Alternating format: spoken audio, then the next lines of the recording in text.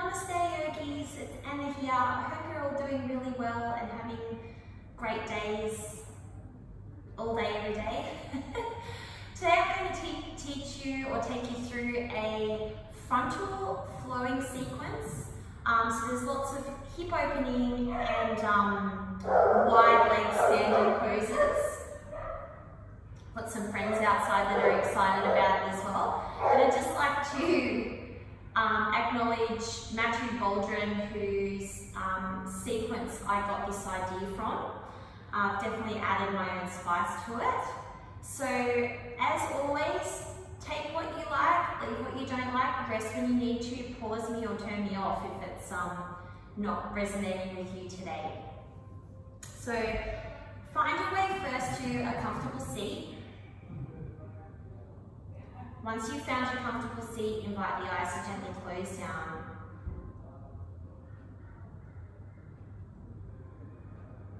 Engaging your Samavriti or your even breath, maybe for a ratio of 4, 4, 5, 5, 6, 6.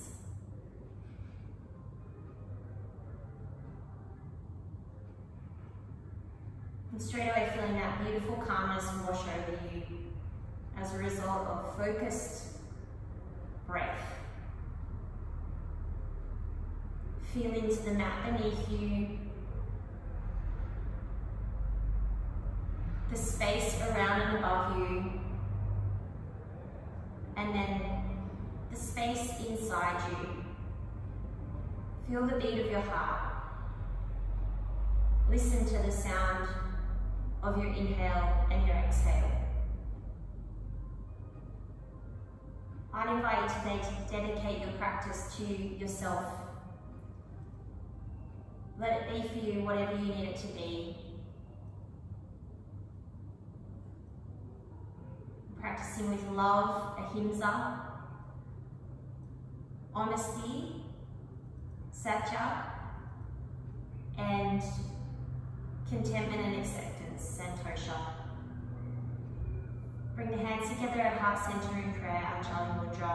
If you'd like to join me in one chant of Om, take a full inhale breath. Exhale complete. Inhale for Om. When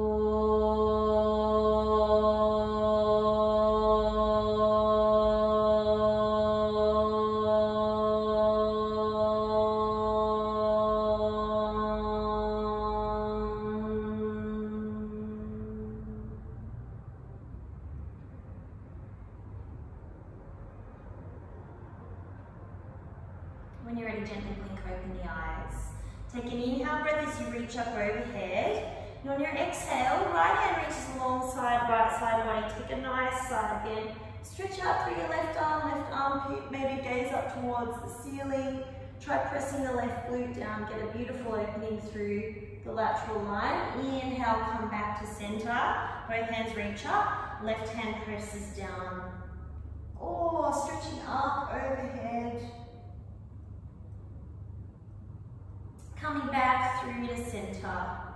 Interlace the fingers, press them away, don't through the upper back, stretch all the tissue between the shoulder blades. And then take that up to the ceiling, press up high, ground down through the sit bones. This time press the tops of the hands towards me, pull the shoulder blades apart. Beautiful, and then release.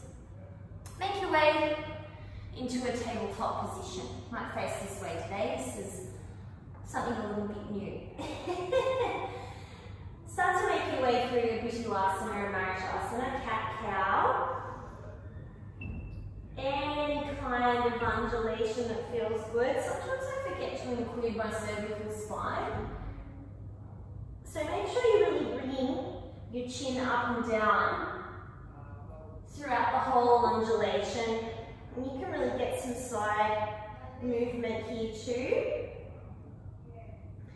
Just whatever feels good. You can put some of your own nice music on. I've got um, lots of really great playlists on Spotify under Anna Spanner, if you want to follow me, um, and play some music along with the video.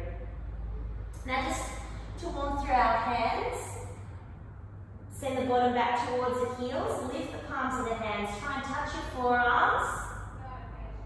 Try to keep your arms straight. Shift the weight back forward, set the shoulders over the elbows over the hands, but try not to let your hands touch down. Trying to get back to that full stacked tabletop position. Oh, and then let the hands touch down. And just take some circles, distributing the weight. All throughout the palm. Let's take off my watch. Now, spread your fingers as wide as you can.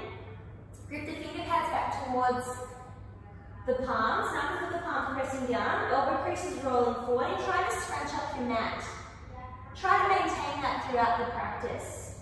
Toes tuck under, bottom comes back towards the heels. Hover the knees off the mat, you're like in a turbo child's pose. From here, lift the bottom high. On an inhale breath, take the right leg long.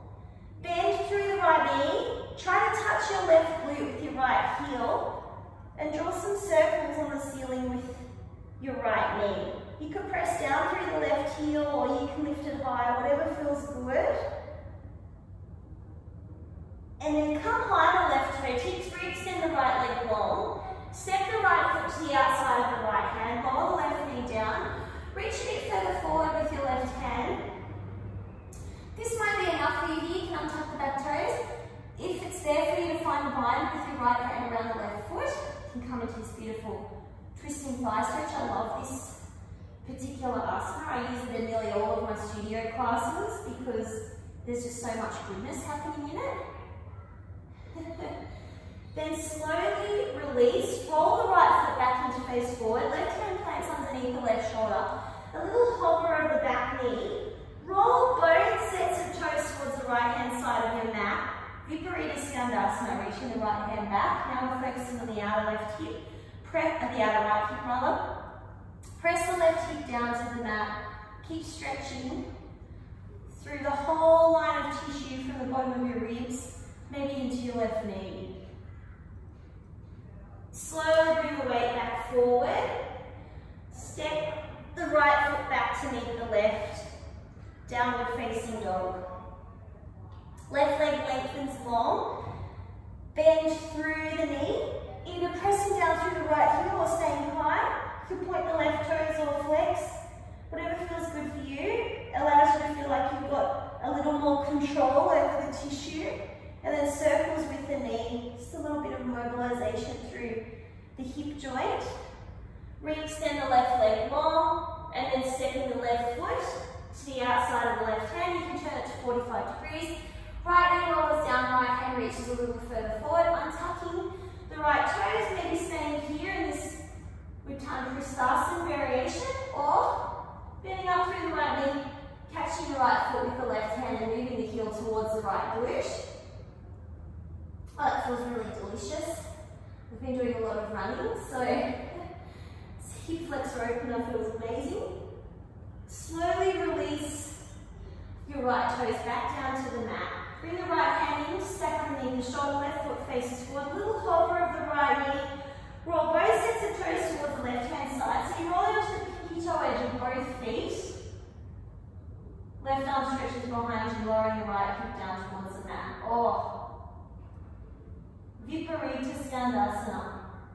Bring the left hand back to face forward, roll the left foot forward, up high the right toes, maybe try stretching through the left leg before stepping it back. Adho Mukha Svanasana, downward facing dog. When the studio reopens, I'm going to do a dog yoga. So all of your puppies and doggies that have been practicing along with you can bring them in. On an inhale, roll forward into a high plank position. Roll the elbow creases forward, and open through the upper back. Take a deep inhale breath. On your exhale, I'm going to lower down for the count of five. Good, roll your inner thighs together. Four, lengthen through the back of the neck. Three, don't let your, let your legs be floppy. Two, tuck the navel up into the spine. One, little hover, touch down. Untuck the toes, inhale, Bhujangasana. Exhale, lower down. Inhale, Bhujangasana, squeeze the elbows together, press into the tops of the feet. Exhale, lower down. One more just like that. Exhale, lower. Now press back to a wide knees child, wide knee child's pose. Lengthen everything long. And maybe actually pulling yourself forward so you get a nice stretch through the outer arms. And we'll meet in a downward facing dog.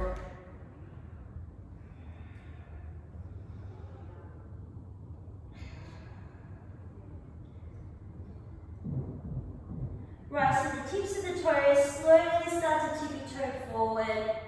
Feet settle about hip distance apart. Take a generous bend in the knees if you like. Your hands can rest in the elbow creases as you find yourself here in a really nice loose forward fold. It's also a good opportunity to fix any pointing malfunctions.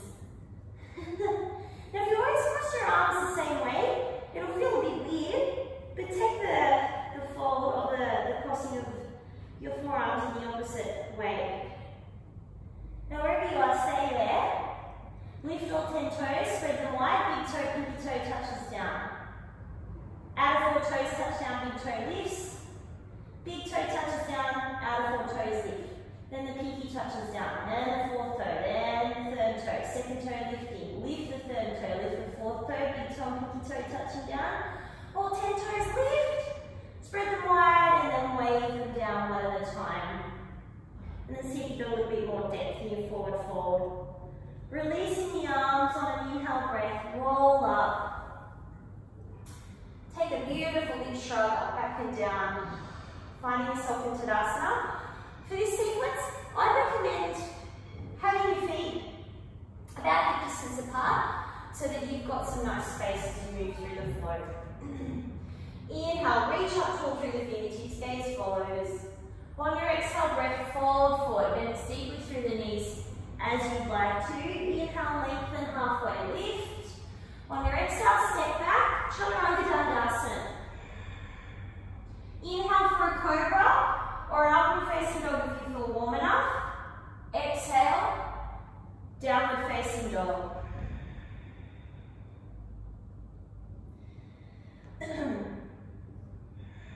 Deep, full, purposeful breaths. Rise to the toes, gazing forward, bend through the knees on your inhale, make your way to your halfway lift. Like to step forward for my first couple of rounds. Exhale, bow forward, Uttanasana. Inhale, rise up tall, Urdhva Hastasana. Exhale, Samasthiti. Inhale, reach tall, stretch through the body. Exhale, bow forward. Inhale, lengthen Ardha Uttanasana. On your exhale, Chaturanga Dandasana. Urdhva Mukha Svanasana or Bhujangasana on your inhale. And on your exhale, Adho Mukha Svanasana. Inhale the right leg long. On your exhale breath, set the right foot in between the hands, lower the left knee down. Draw the left heel up, in towards the glutes, and then hold here. Three, two, Touch down, hands touch down, step back, downward facing dog, or take a vinyasa.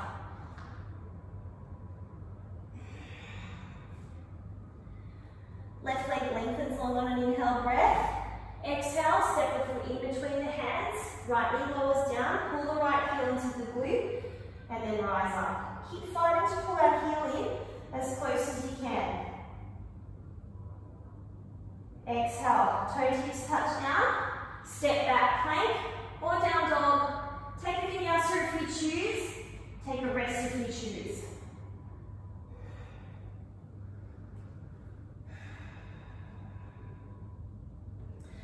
Rise to the tips of the toes, bend through the knees, gaze forward, inhale, step, hop, float, tippy toe, halfway lift.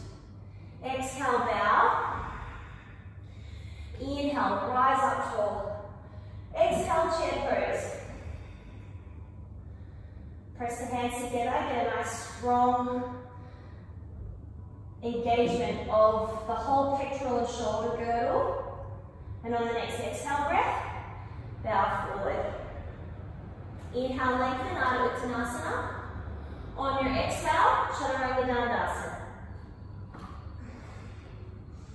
Inhale, up dog. Exhale, down dog. Inhale, right leg, send it long. Exhale, right foot to the outside of the right hand. Roll to the pinky toe edge of both feet, turn to the right hand side. Viparita Skandasana. Inhale, come forward. Uttan Prishtasana, reach the fingertips forward. Maybe see if you can reach the hands forward. Left hand plants, inhale, reach up tall, single twist. Exhale, right hand plants, lengthen the right leg. Flex the toes, step back, downward facing dog. Take the vinyasa if you want to.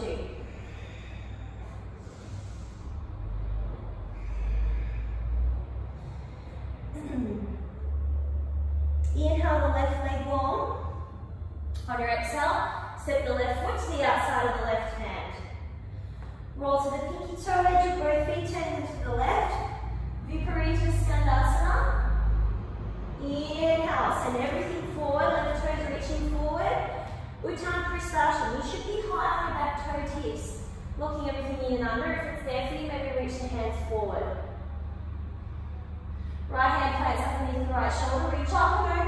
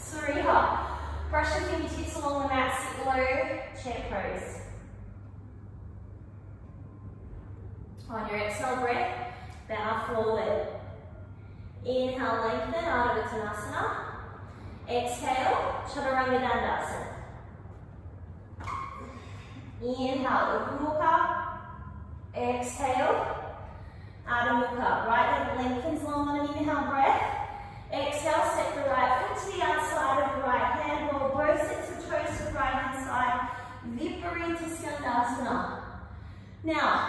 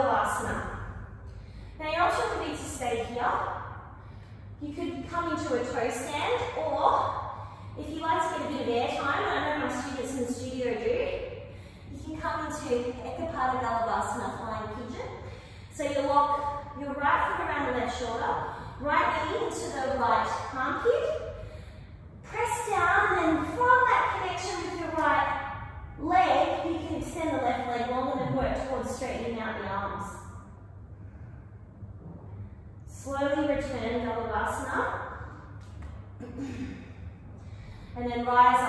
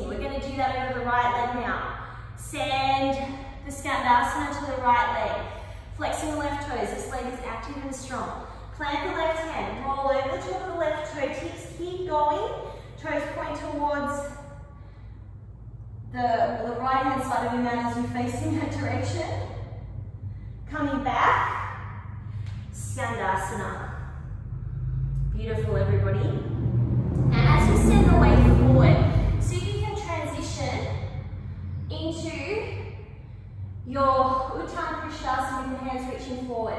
Now bring your hand quite a bit wider over your left foot. Reach your left hand forward, send the weight forward, step the right foot through, hover. A bit of animal flow here, front leg step through. Step back, there's a variation. Step through, step four, hover, step back. You've got three more. Step through, hover, try not to let your bottom touch down. Step back. Step through. Hovering the bottom. Step back. Last one. Hold here. Hover. Hover, hover, hover, hover, hover. And step back. Lower the right knee down. You can shuffle the left foot forward, coming into a really beautiful sinking of the hips down you can let your left foot roll to the knife edge, whatever feels good. And from there, we're going to transition into pigeon. So you can bend the right knee out to the side here if that helps you be more comfortable in the hips. Our target area for this pose is the left outer hip. So as long as you're feeling it there and you're not getting any feedback in your knees, then the pose is perfect. Or whatever that means for your anatomy.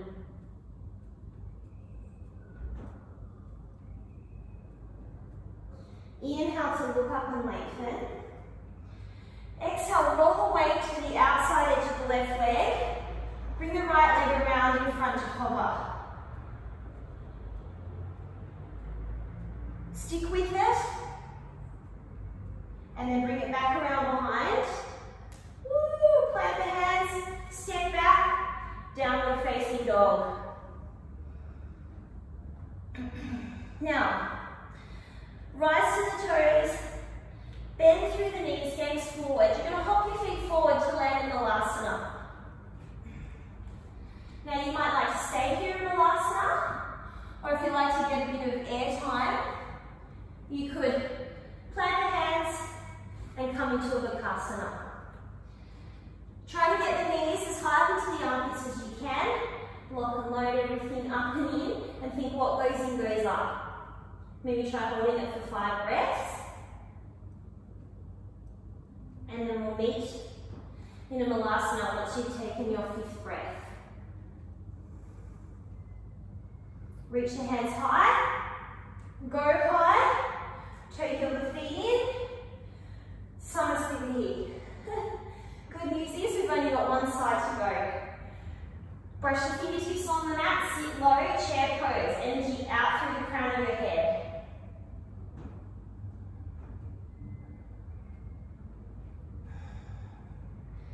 Deep, full inhales and exhales. Send the weight to the right leg. Cross the left knee over the top of the left ankle over the top of the right knee. Coming into your Galavasana. Might choose to stay here. Another nice variation is tree, like just behind me. Otherwise, if you're coming into your flying pigeon, Ekapada Galavasana, wrap your left foot around your outer right shoulder. Left knee plugs up into the left armpit. Shift your weight forward. Ooh, and then try and lift and lengthen that right leg. And working on lengthening your arms as well. Keep squeezing your elbows together. And then coming out of the pose with control. Maybe you top your way forward if you shuffle a little bit further back.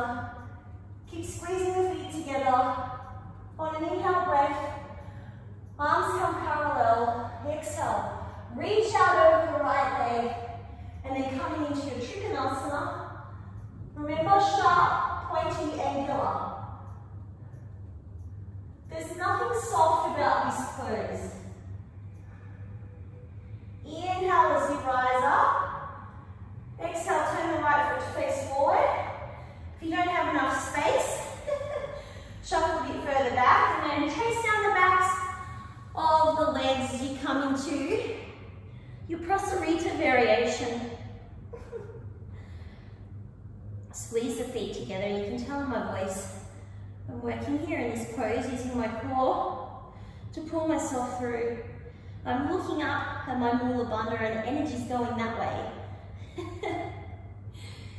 Inhale to look up and lengthen. Fingertips take underneath the the shoulders. Left foot turns 45. On your exhale, find Skandasana over the left leg.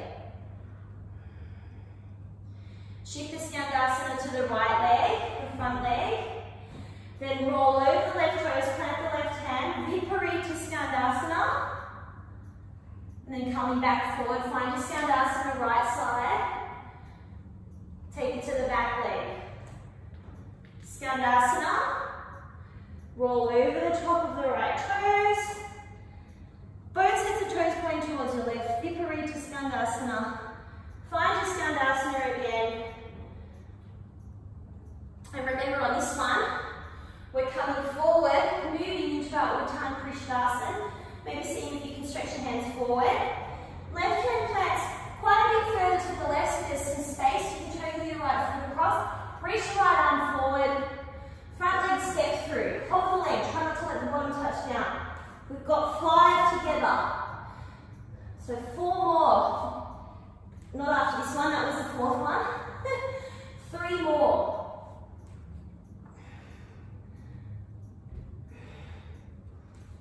This last one, we're going to hover. Stick with it, stick with it, stick with it. Step back. Ooh, and then lower the left knee down. Oh, that's spicy. Forearms come down. Bit of a shout out to one of my best friends, Alicia Smith, who taught me my level one animal flow. That's um, a bit of a tribute to her there. Oh, so feeling this beautiful wizard. And maybe having a little more space in the tissue that you've now warmed and worked, hydrated, releasing some jump from the hips. From here, you transition into your Ekapada Raja Kapotasana, or La Pigeon, as Matthew would say. Remember the left knee can be bent out to the side. Find whatever space you here and then melt into it.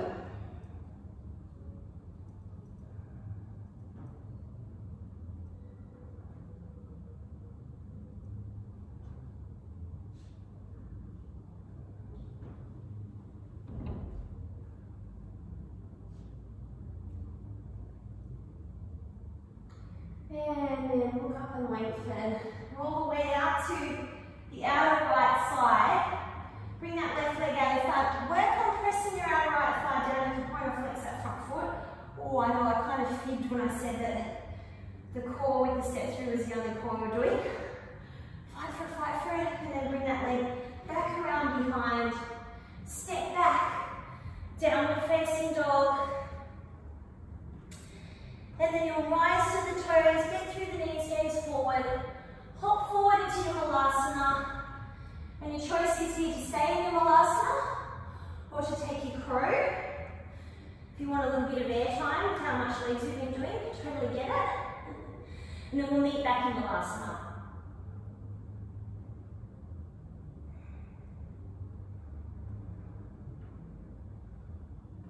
Feet settle, bottom settles. Coming down, soles of the feet together, Baddha Konasana.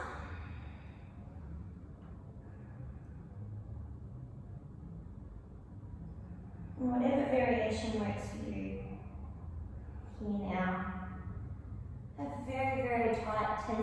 latae muscles just here. So I really feel this pose there, but it's so good.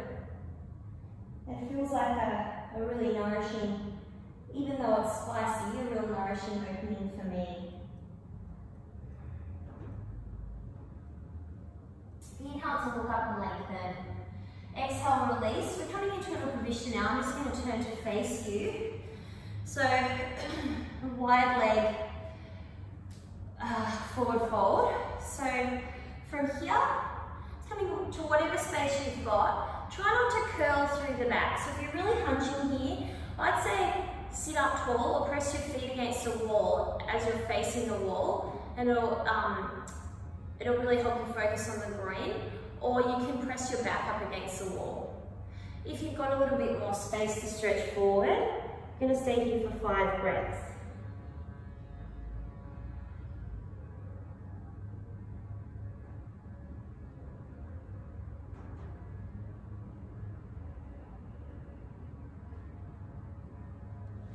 Coming back through to center, we're going to take um, a side bend now in this pose.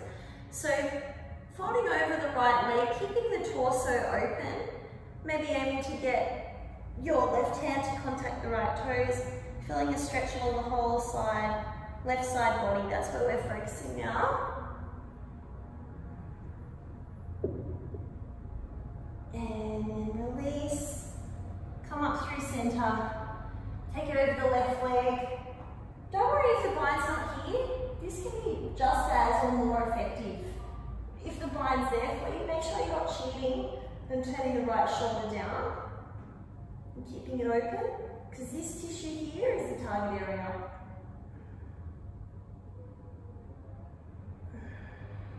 Come back through the center and we're going to make our way onto our backs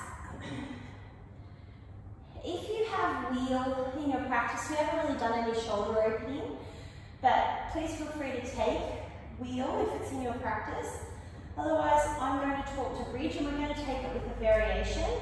You're going to cross your right ankle over the top of the left knee, just like we did in the standing sequence. Hold the outer edge of your mat. And exactly the same way you enter up into bridge. You're stamping the left foot down, lengthening the crown of the head away from the pelvis turning on the core to support you, and then lift up and open. You're going to get a beautiful hip opener as well as an extension. A little bit more bang for your buck.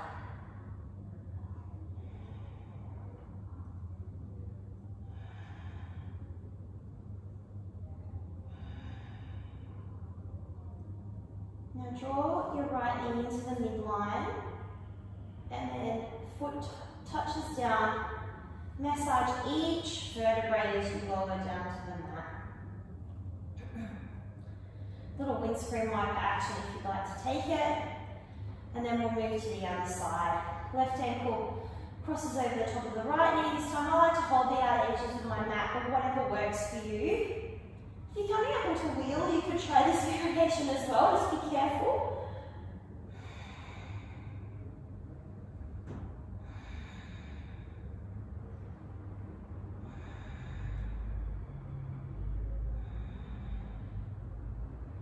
draw the knee into the midline of the body, release the left foot.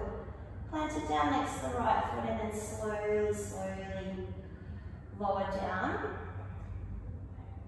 Now to focus some of the extension to our upper spine, pose. So, prop yourself up on your elbows and then try squeezing your shoulder blades together so you can puff up your sternum towards the sky. If you feel safe there, you can gaze behind you. If that feels okay, shuffle your elbows closer towards the hips, and you might even be able to get the crown of the head down towards the mat and then maybe reach the arms overhead.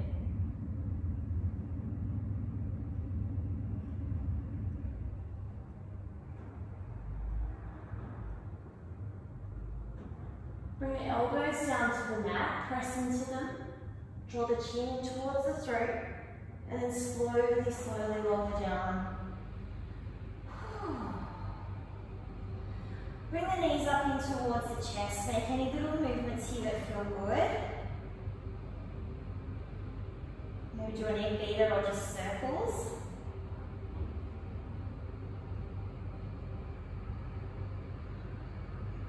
And then coming into happy baby, Ananda Balasana.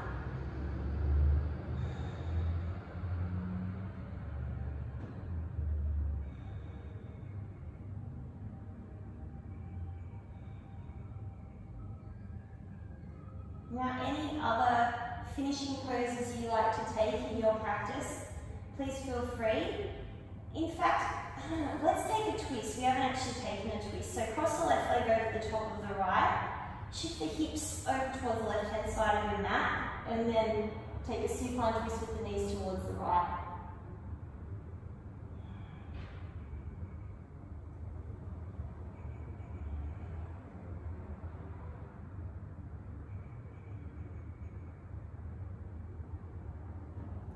Come back through to. Reposition the hips, unwrap, wrap the opposite direction, hips over towards the right. Right leg over the top of the left. Oh, coming into that beautiful Supta Matsyendrasana.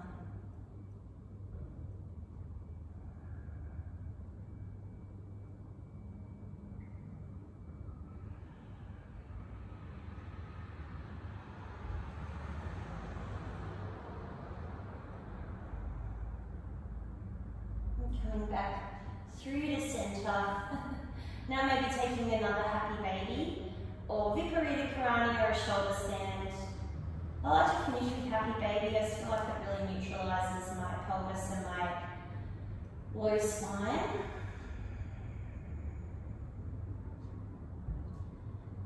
I don't have a really long neck, so I feel like shoulder stand can sometimes be really compressive on my throat.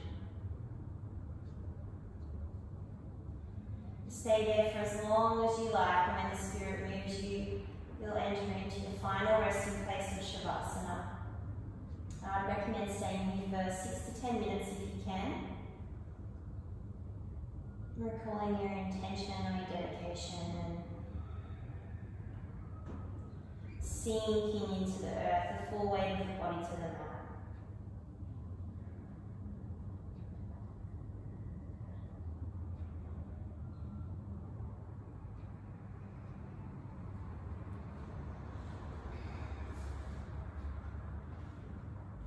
To thank you for joining me today.